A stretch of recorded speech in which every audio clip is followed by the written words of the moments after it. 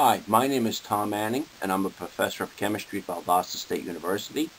Um, we've been doing work in the Gulf of Mexico for the past 16 years now uh, with biofilms and growing different types of marine creatures.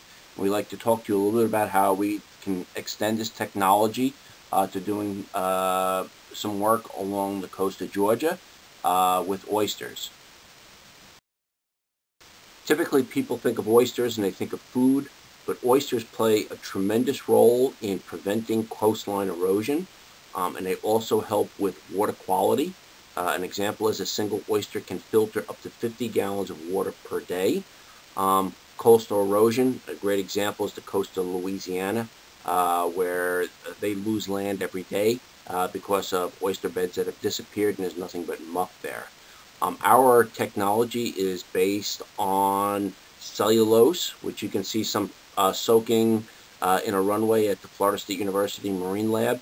Uh, we like to grow biofilms on things, and this is great for capturing wild diploid oyster spat. For the past 15 years, we've produced a number of new cancer drugs and antibiotics that have entered preclinical trials by growing bacterial mats on different surfaces. By varying the surface and varying the chemistry of the surface, we can vary what type of bacteria we grow in the ocean. Um, but along the way, what we found is that all sorts of other things like to grow on these surfaces, including everything from barnacles and oysters to coral stubs to uh, uh, different types of sessile invertebrates. There are literally trillions of species of marine bacteria in the oceans. Um, so how you grow or what you grow is a function of the chemistry. What we have found is that by varying different chemical parameters, we can grow different types of films. In the upper left, you see a bacterial film um, that is nice and thick, and you can see where we captured it on the right. Uh, these films are important for things such as oyster spat, coral larvae, sponges. Um, what the bacterial covering is of a surface will impact what's actually growing there.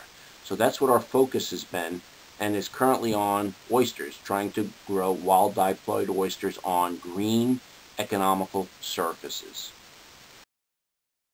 This past summer, we received a grant from the National Science Foundation to have our technology for growing uh, marine life tested for commercialization potential. Uh, 24 teams from around the country received these grants in our cohort that was held in Washington, D.C and we were one of six that were given thumbs up for commercialization. We have three patents pending based on this technology, and they're focused on using small modular reefs to grow things as opposed to single large structures like ships or planes. Um, we use nutrient-enriched cellulose. Cellulose is biodegradable, and by what we soak into it, we can predict what we're going to grow. And then we also have a concept called biodegradable concrete, um, where we mix a host of organic and inorganic nutrients in with concrete so not only do things grow on it much faster and in a more predictable fashion, but also with time these, these structures will degrade and go away, leaving behind a living ecosystem. With our treated wood and treated concrete approach, we've been able to show that you can grow oysters, uh, wild diploids up to greater than 3 inches um, in 12 to 13 months. This is in the northern Gulf of Mexico. Um, location is obviously critical. Uh, the chemistry of the surface is critical, but also the geometry of the surface is critical. Um, and you can see both on the left and on the right, these particular ones, the one on the left was grown in a, an environment where there were also lots of competition from barnacles. And on the right, um, you can see the, you know, the large colony that grew on a piece of wood in a little over a year. There are many geometries or combinations of cellulose and concrete that you can come up with um, but they're going to be dictated by local currents, what the bottom is composed of, how far you have to lift your substrate off uh, to avoid muck. Uh, is it in a tidal area or a high tide, low tide area? Um, and do you want to treat, retrieve and move it? A simple example of how our system might work is near an existing oyster bar. It can be very small um, because they put out lots of spat. We put our structures um, they become colonized over a period of maybe a few months, starting in April or May and being moved in August. um, and then you can deploy to another area and start a whole new oyster bar. The advantage to our systems is that they're small and modular, which means they can be moved. Uh, they adhere to the principles of green technology, which means that they're sustainable and they will not leave behind anything that's permanent.